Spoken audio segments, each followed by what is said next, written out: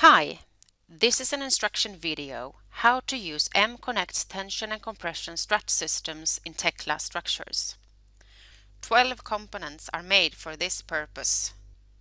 The tension rod, the circular plate and the connection lug is maybe the most common used. The possibility to model single pieces is also an option.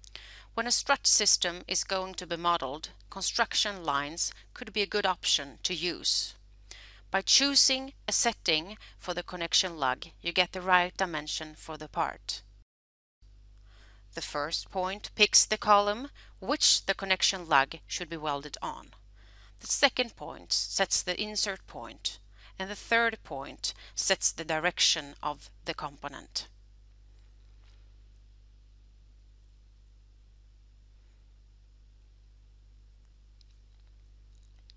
To get the right position of the connection lug, the green cone should point parallel to the right axle, in this case minus x. All corners should have a connection lug welded to the columns and rotated right. It is very easy to copy mirror to apply the connection lug to the opposite column. Just change the up direction if it's not placed in the right position.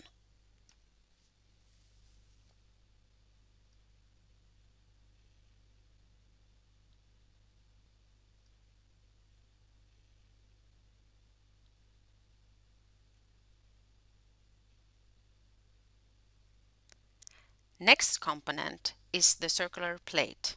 Here are the same dimensions as in the connection lug chosen. The construction lines will help you to be able to place the circular plate right in the model. Always model the components from left to right, which is important for the location of the component in the model. The angle is changeable to fit the situation. And in this case, 70 degrees is chosen and the type number will follow the settings. Tension rods with two connection sleeves are chosen in this case, and the right settings is loaded to fit the other components in the model. The same procedure, left to right, also applied for this component to get the right position, as you can see from the top plan view.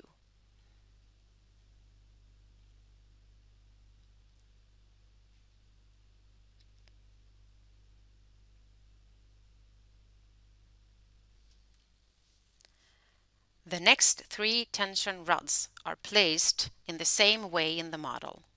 Start point left and end point right.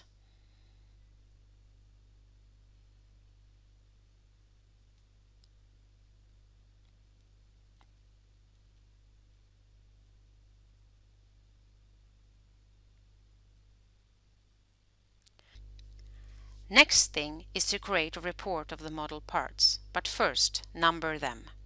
By choosing the parts it's very easy to see type, system length, quantity etc. in the report. You can also choose to make a report by pushing Create All button and all the M-Connect parts in the whole model will be presented in that report. Every component has a help file how to use the specific component. There's also web links in the help file about quality assurance, global resellers, etc. Thank you for your attention.